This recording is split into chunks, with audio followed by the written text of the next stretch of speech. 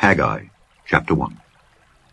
In the second year of Darius the king, in the sixth month, in the first day of the month, came the word of the Lord by Haggai the prophet unto Zerubbabel the son of Shealtiel, governor of Judah, and to Joshua the son of Josedech, the high priest, saying, Thus speaketh the Lord of hosts, saying, This people say, The time is not come, the time that the Lord's house should be built.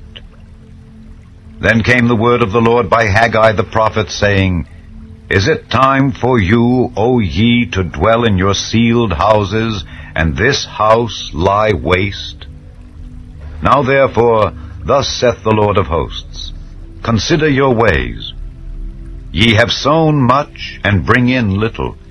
Ye eat, but ye have not enough. Ye drink, but ye are not filled with drink. Ye clothe you, but there is none warm. And he that earneth wages, earneth wages to put it into a bag with holes. Thus saith the Lord of hosts, Consider your ways. Go up to the mountain and bring wood and build the house, and I will take pleasure in it, and I will be glorified, saith the Lord. Ye looked for much, and lo, it came to little. And when ye brought it home, I did blow upon it. Why, saith the Lord of hosts? Because of mine house that is waste, and ye run every man unto his own house. Therefore the heaven over you is stayed from dew, and the earth is stayed from her fruit. And I called for a drought upon the land, and upon the mountains, and upon the corn, and upon the new wine, and upon the oil, and upon that which the ground bringeth forth, and upon men, and upon cattle, and upon all the labor of the hands.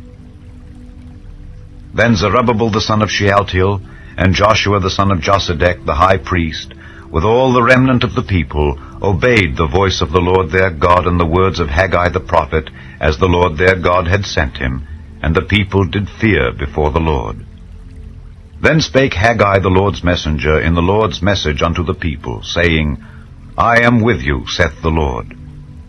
And the Lord stirred up the spirit of Zerubbabel the son of Shealtiel, governor of Judah, and the spirit of Joshua the son of Josedech the high priest, and the spirit of all the remnant of the people, and they came and did work in the house of the Lord of hosts their God. In the four and twentieth day of the sixth month, in the second year of Darius the king.